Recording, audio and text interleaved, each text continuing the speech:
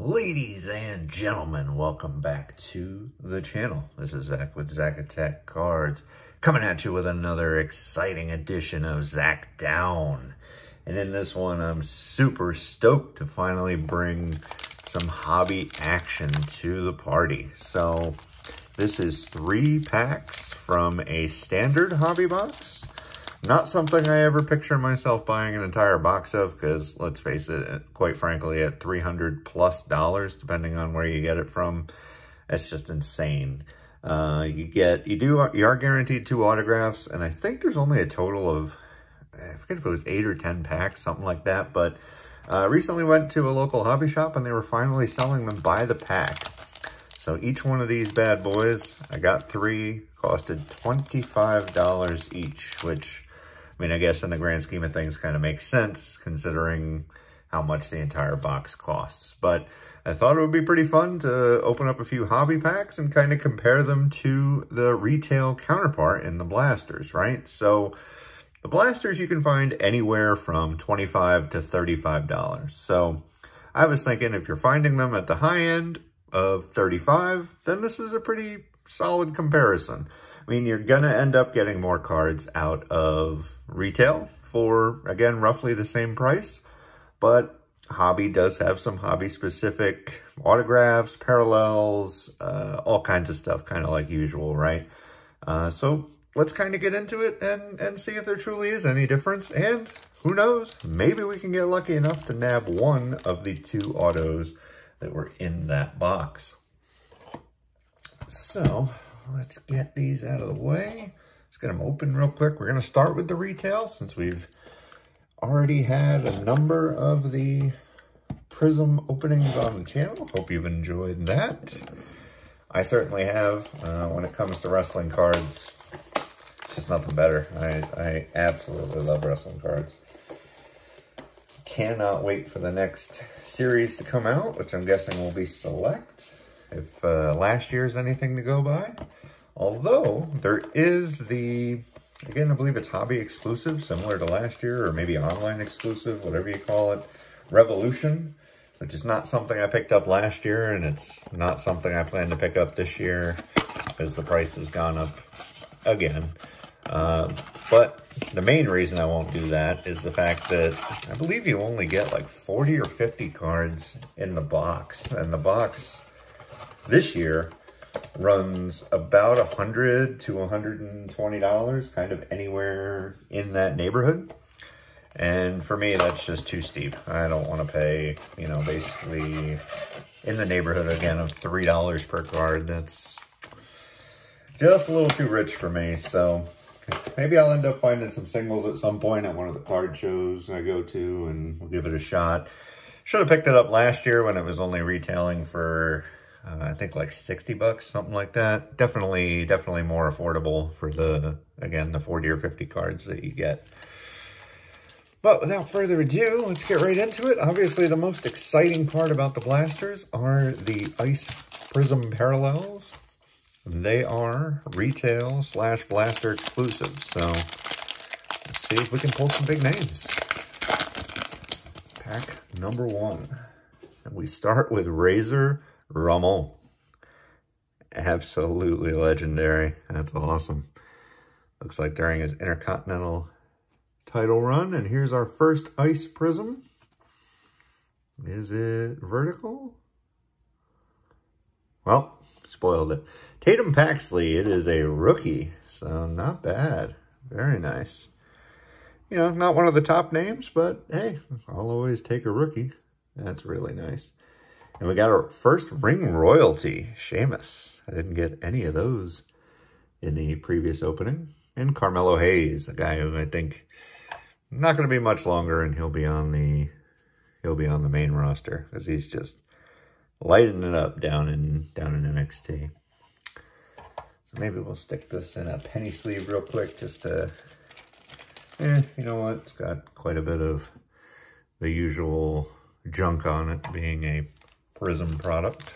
So we'll hold off until we can treat it with a microfiber cloth. Pack number two. Got ourselves a Ludwig Kaiser. Isla Dawn.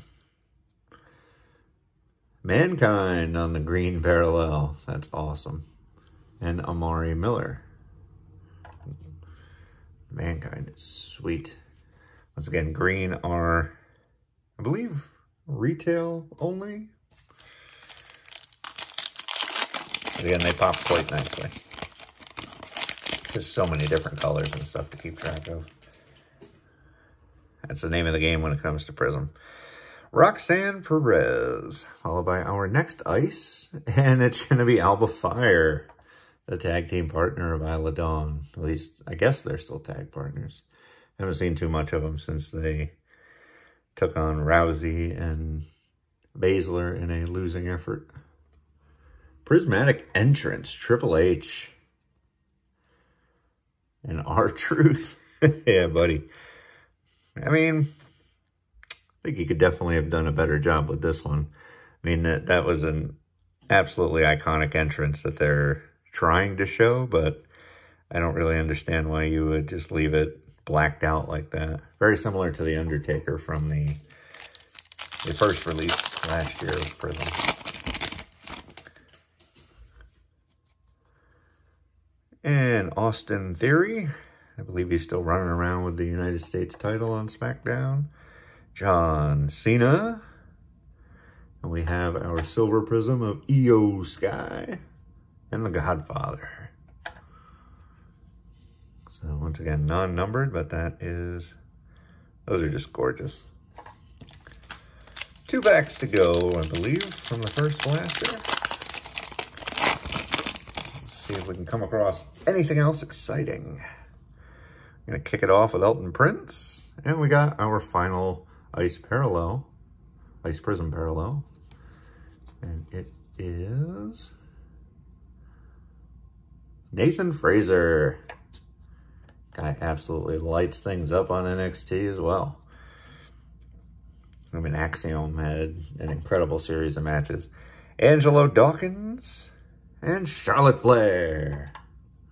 Man, these are just covered with, you know, lint or whatever you call it. You can really see it on the black cards. Or the mostly black cards. All right, last pack. First blaster. Not expecting to see too much in here. We have Scarlett. Not too sure what her and Mr. Cross are up to. Ivy Nile. Ooh, a top tier Becky Lynch. That's awesome. The background kind of really goes with, uh, I guess, her hair color. And Oro Mensah. So that's a really cool insert.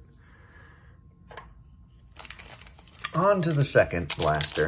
This is pretty much how Prizm goes, right? I mean, unless you get extremely lucky, you're typically not going to see numbered cards, autos, things of that nature. Luke Gallows. We got Top Dollar. Who hotter than Top Dollar? I believe, he says? Hmm. Something like that. Alba Fyre now in the green prizm. And Nikita Lyons, who's just a matter of time, really, before she makes her return to NXT.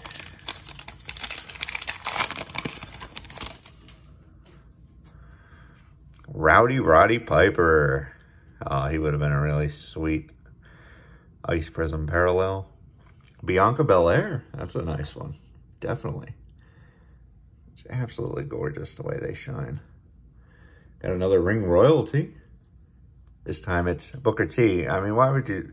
King Booker. Come on. Why would you even call it Booker T? And Sarray. He was King Booker. Awful what British accent he tried to do. All right, next pack. Malik Blade. We have another Ice Prizm Parallel.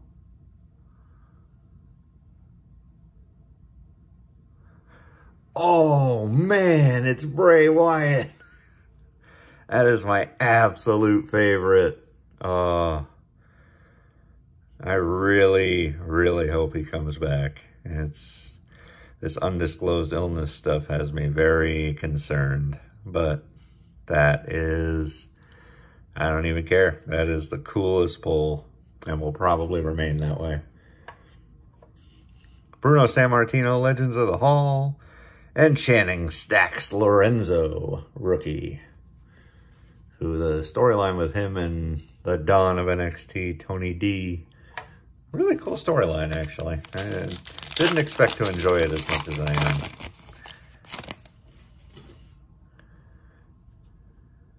We have Giovanni Vinci, part of Imperium. We have Shotzi, who just recently shaved her head. We'll see why that was done. Ooh, we got Prizm Rookie, and it's Thea Hale. Who they seem like they're going to do some cool stuff with her. And Cowboy Brock Lesnar. That's from the, was it the SummerSlam match where he's in the uh, excavator? That's really cool. But, and the Thea Hale, very, very nice. Two packs left in retail. And then we'll move on to perhaps the most exciting part of the entire opening, the hobby packs.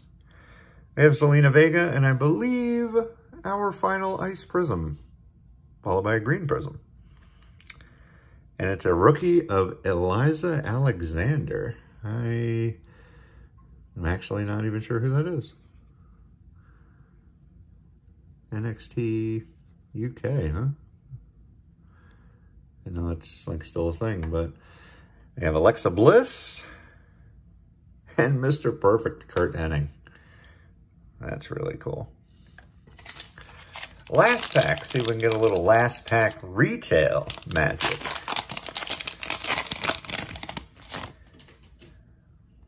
Starting off with Liv Morgan.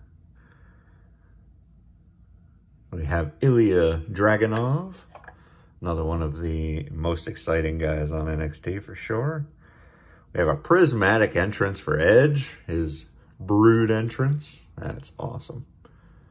And finishing on Shinsuke Nakamura. Prizmatic entrance. That one's definitely better than the Triple H one. All right, let's see what we can do here. Let's see wish me a little bit of luck. Let's cross some fingers, cross some toes, all that good stuff, and see what comes out of these. You do get 12 cards per pack. So basically two of these make up one blaster.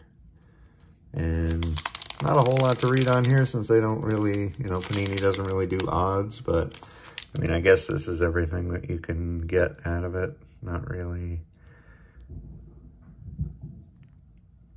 the best focus, but you guys can pause and probably read through that. let's see, pack number one.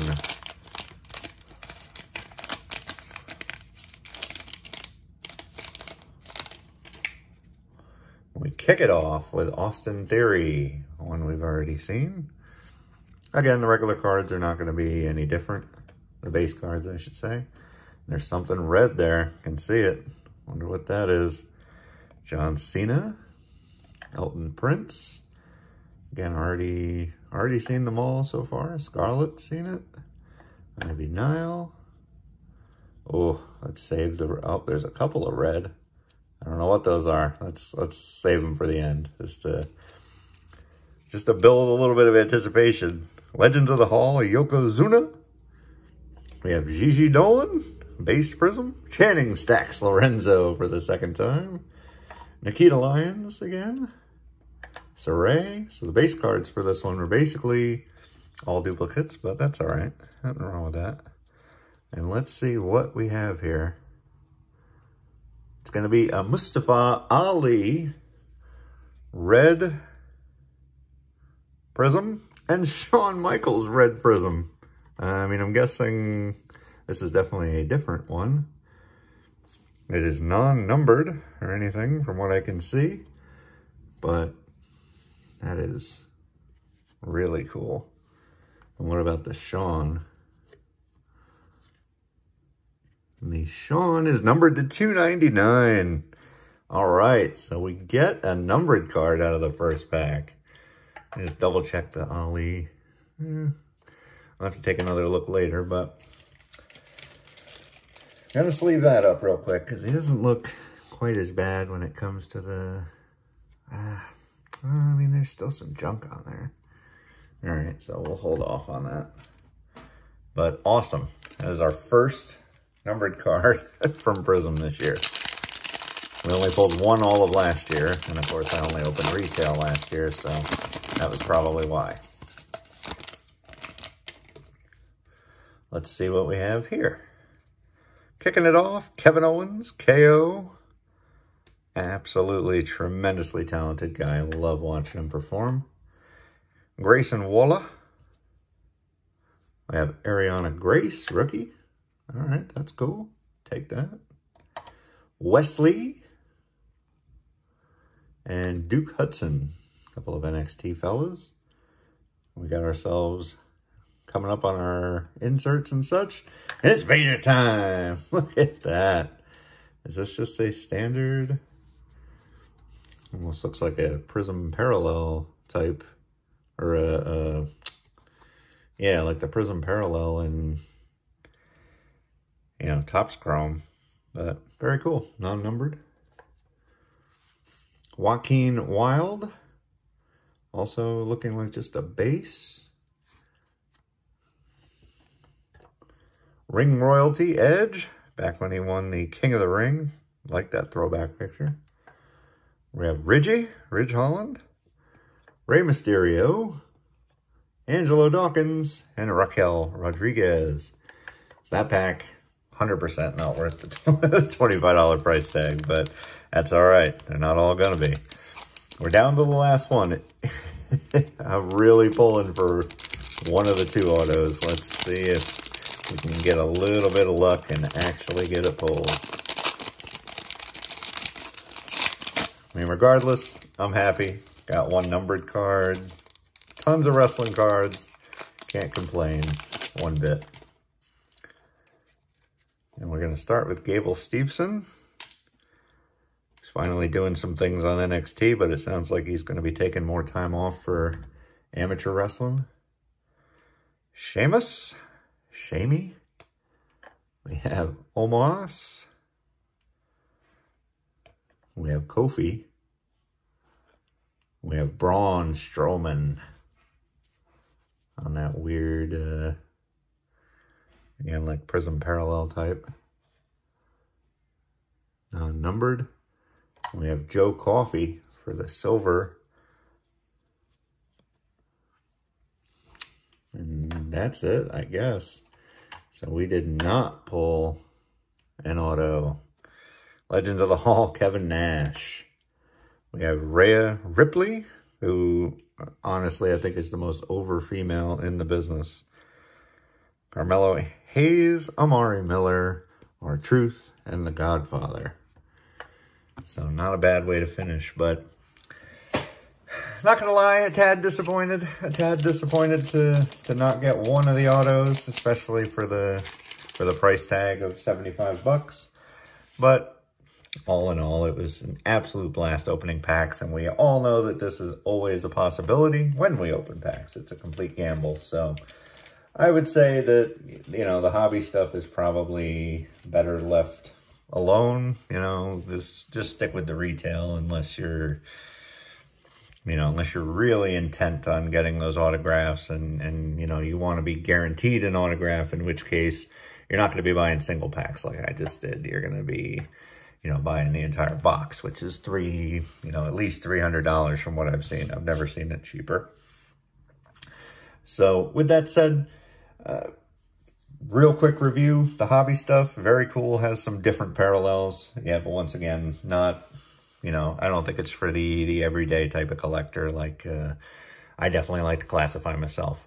Um, definitely more so for, you know, the more hardcore guys that are looking for that top autograph or that, or that top, uh, numbered card or even the, the case hits and such that they have. So, um, but tons and tons of fun. I'd say stick with the retail.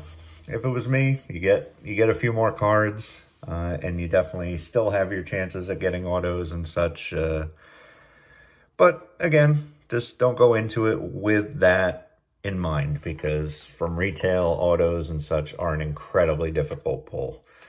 Uh, from what I've seen on forums and other and other videos, they're just they're almost impossible to pull. So with that said, I'll get you guys on out of here. Don't want to don't want to take too much more out of your time. I do appreciate from the bottom of my heart you guys hanging in there and and and you know spending every second with me that you do. I very much appreciate that.